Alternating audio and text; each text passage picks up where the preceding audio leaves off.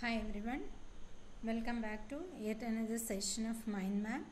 In this session, we will be revising mammary gland. Mammary gland we can uh, revise under general features, the structure of nipple, areola, and the glandul gland, then the vessels, the arteries, veins, and lymphatics, then the applied anatomy. I will see the general features first. The general features type of gland. It is a modified sweat gland. Uh, according to the structure, it is tubular, tubulo-alveolar type. Now the location, where is it is located? It is located in the superficial fascia of the pectoral region. Now the extent. When you write the extent, since it is a circular gland the middle part only showing the maximum uh, length. So that you have to specify. So vertically it extends from the second to second to sixth rib in the along the mid clavicular line. So second to sixth rib along the mid clavicular line. Now the horizontally the extension is from the lateral border of the sternum to the mid axillary line along the line of fourth rib. So along the fourth rib it is extending. The other areas it will be not to that extent. Now the deep relations. Deep relations the mammary bed or the base of the mammary gland. It is formed by three muscles. The pectoralis major muscle that is here the pectoralis major muscle then the serratus anterior muscle here and the external oblique aponeurosis. So these are the three muscles which form the base of the breast or the mammary bed it is called. Now retromammary space. Retromammary space is the space between the breast and the pectoralis major and the fascia covering it. So this space, this space is the retromammary space and it contains loose areolar tissue. Because of this space, the breast is movable over the pectoralis major muscle so this okay. Now about the mammary axillary tail of Spence axillary tail of Spence is a small extension from the upper outer quadrant into the axilla through an opening in the axillary fascia that is called foramen of Langer. So that is the axillary tail of Spence. Now about the structure. Structure uh, of nipple, areola and the gland itself.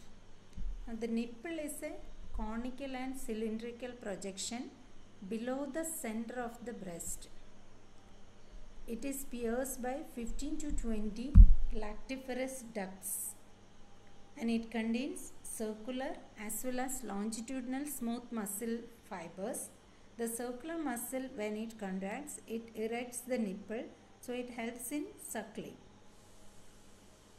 Longitudinal muscle fibers retracts the nipple.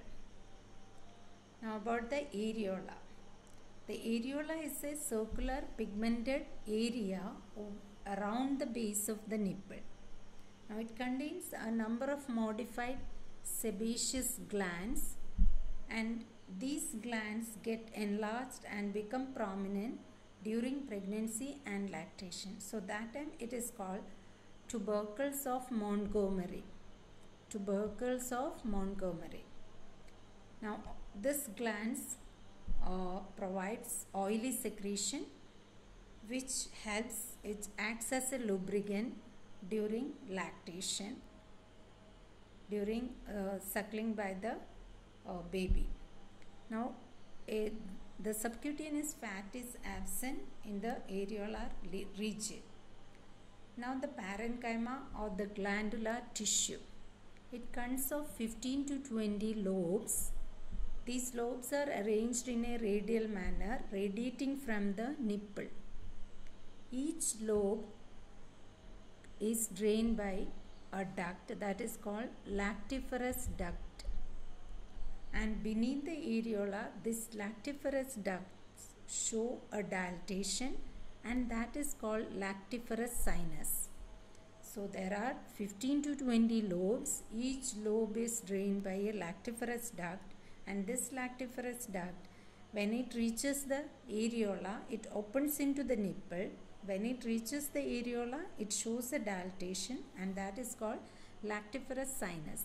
It acts as a reservoir of milk.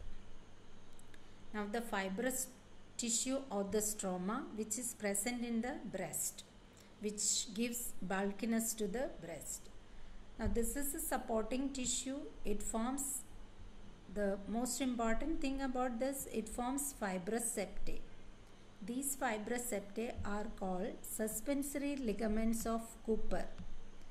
The suspensory ligaments are attached from the glands to the skin as well as to the pectoralis fascia.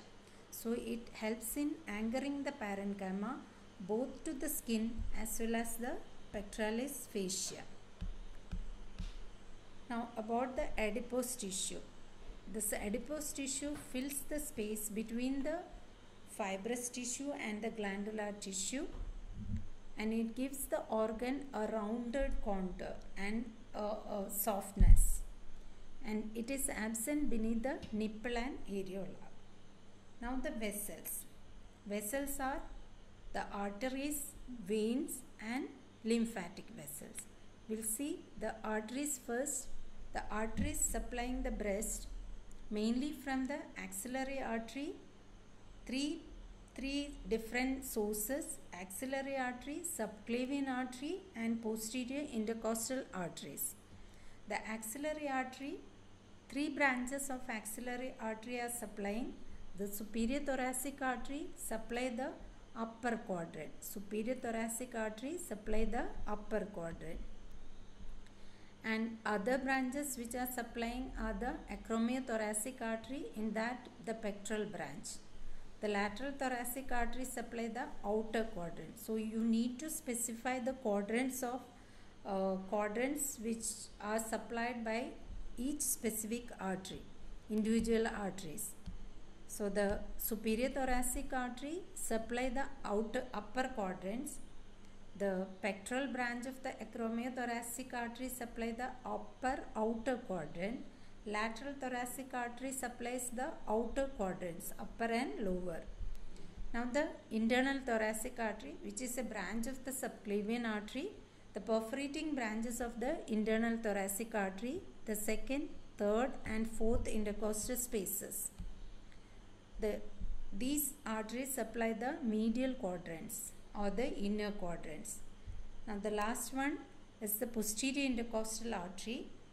Again the perforating branches of third, fourth and fifth perforating branches of posterior intercostal arteries.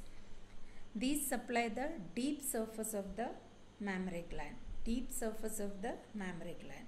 Now the venous drainage. Venous drainage is, uh, it forms a plexus that is called circulus venosus. This plexus under the areola they are called circulus venosus. It drains into three direction. One is to the axillary vein. It drains into the corresponding artery veins of uh, the branches of axillary artery. It drains into axillary vein. Second draining, area, uh, the vessel is uh, internal thoracic vein. Now the third draining area is posterior intercostal veins. This posterior intercostal veins communicates with the internal vertebral venous plexus that is called Batson's plexus through the azygous vein. So what is the complication or the disadvantage of this channel? This is normally not uh, occurring when there is obstruction of flow it is diverted so in that case it it may go to the the bones that is vertebra clavicle humerus. So in case of malignancy if the veins are blocked it may retrograde blood flow occurs into the internal vertebral venous plexus and from there it goes into the brain and the uh, the vertebrae. Now the lymphatics the lymphatics are uh, divided into superficial lymphatics and the deep lymphatics superficial lymphatics uh, drain skin over the breast except the nipple and areola the deep lymphatics drain parenchyma that is the gland and the along with nipple and areola. Now we'll see each group. These two diagrams are compulsory for you. The superficial lymphatics that is the skin except excluding the nipple and areola it drains into the upper quadrant drains into supraclavicular group of lymph nodes as well as infraclavicular group of lymph nodes. Now the outer quadrant drains into axillary group of lymph nodes. Inner quadrant drains into parasternal group of lymph nodes. This parasternal group of lymph nodes, both the side can get involved from the inner quadrants. Now from the in lower inner quadrant, it can communicate to the subperitoneal plexus From there, it can go to the hepatic group of lymph nodes. Some may drop down uh, in the peritoneal cavity and uh, it can get deposited over the ovary. Now enlargement of ovary because of this deposition is called Krukenberg tumors.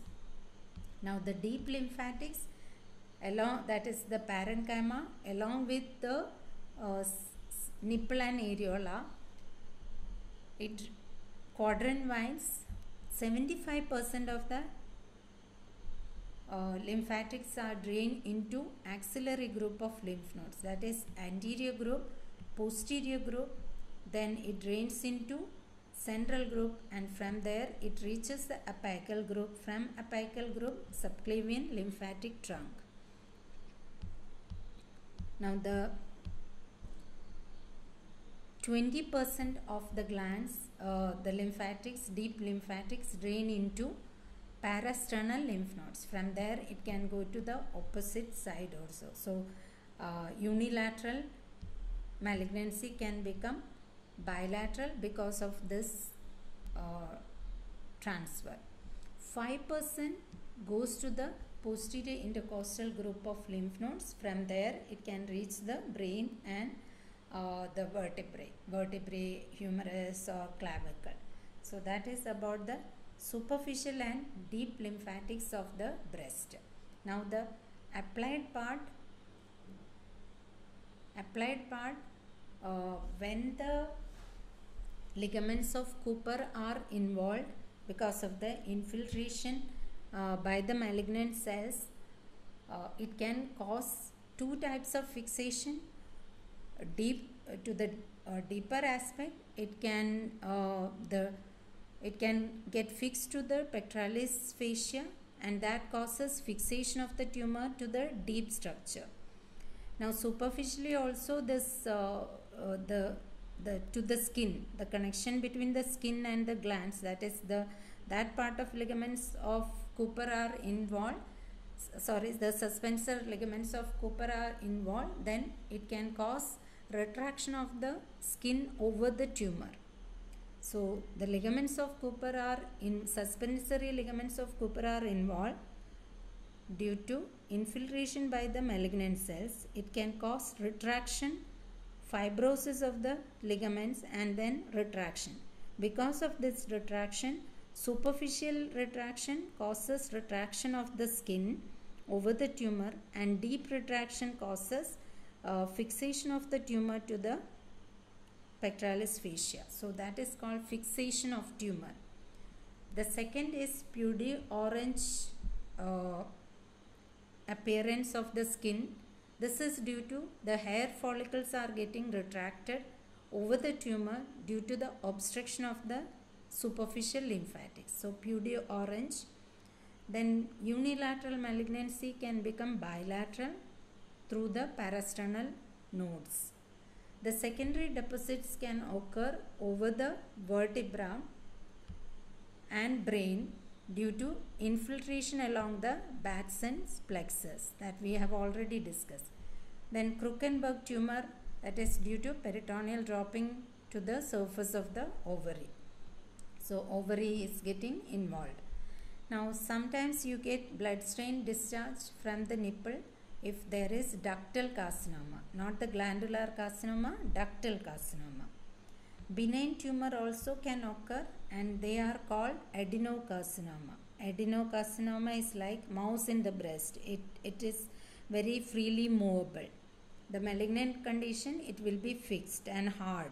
This fibroadenoma is uh, not so hard uh, but firm but it, it will be freely movable. Now what is uh, mastectomy? Mastectomy is the surgical removal of breast. Radical mastectomy means removal of breast along with pectoral muscles, lymph nodes and clavipectoral fascia. Now early stage malignancy can be detected by mammography and late stage it is by the biopsy.